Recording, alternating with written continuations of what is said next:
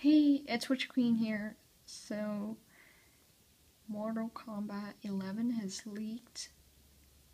Now, this is only rumors and speculation, so take it with a grain of salt. However, seems like the official reveal of this game is in just a few days' time at the Game Awards so the first clue that this game was being made was a voice actor, Lalo Garza. Excuse the bad pronunciation and any future bad mispronunciations. So he is known to Latin American fans being the voice actor of Krillin in Dragon Ball Z and the director of Dragon Ball Z and the Super Dubs, but however, he voices Reptile and Liu Kang, and he tweeted just a few days ago that he won't be coming back and reprising those characters. So, someone, a QA tester, leaked a bunch of information and I'll try my best to remember everything. So the first is this will be announced at the Game Awards. The development cycle was four years, which is the longest any Mortal Kombat game ever, and it's had one year of you know concept ideas developing concept and three years in development. The concept phase of this game started way back in the development of Mortal Kombat 10.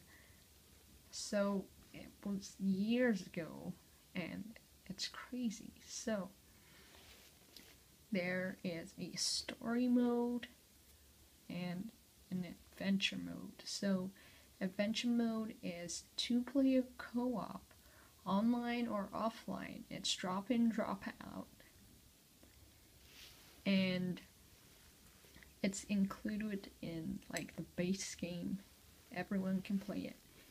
So, there's a new version of like Shaolin monks type gameplay where you can customize your character, like weapons and stuff, and you can customize a lot of things.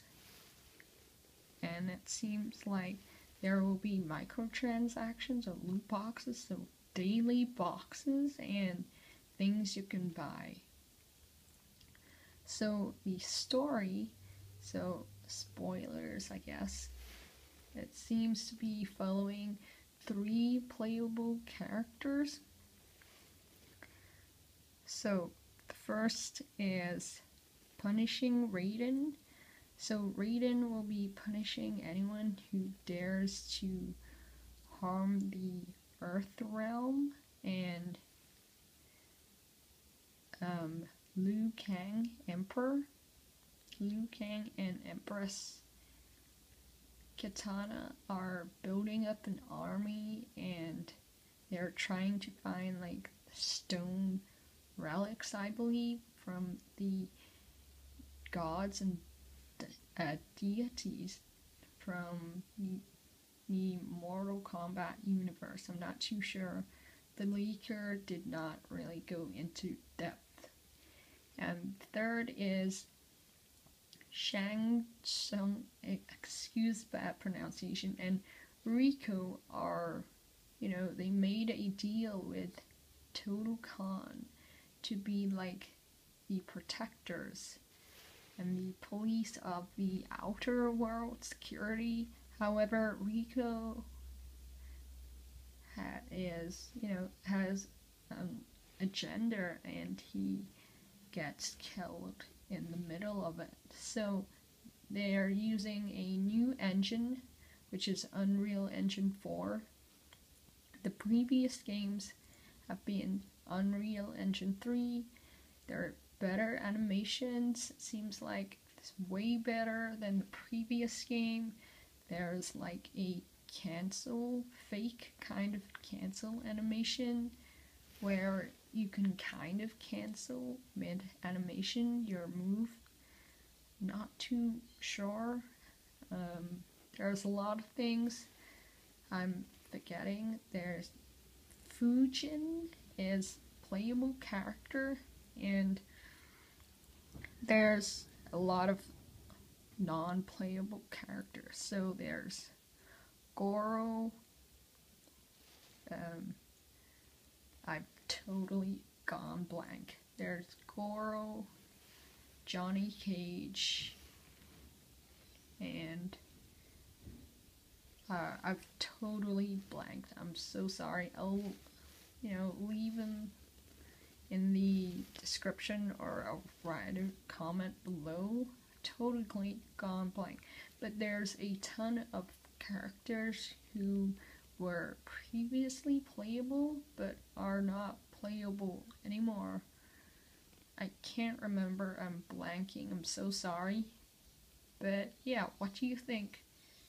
Are you, you know, excited for the official reveal of Mortal Kombat 11? Have you played any of the previous Mortal Kombat games? Are you into the lore of the universe? Do you know what's going on story wise? Who is your favorite character? Let me know what you think. Leave your thoughts in the comments below. If you enjoyed this video, please like, share, favorite, comment below, or tweet me at Witcher Queen. Hit the bell button below for notifications on new videos and subscribe. Thanks for watching.